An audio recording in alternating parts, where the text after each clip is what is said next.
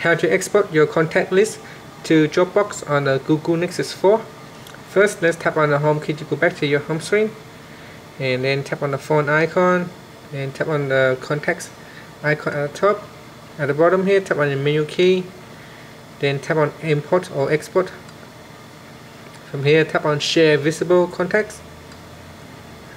Then tap on add to Dropbox. If you don't see um, Dropbox uh, available as an option, then what you will need to do is go to Google Play Store and install the Dropbox app.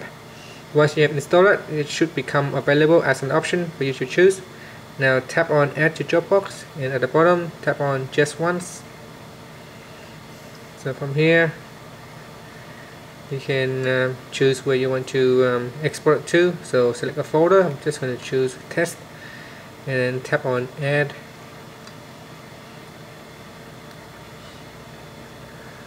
so now we'll try to import export to um, Dropbox. So you can see it's uploading to Dropbox. So once it's finished it's a upload completed and now it's a finish exporting.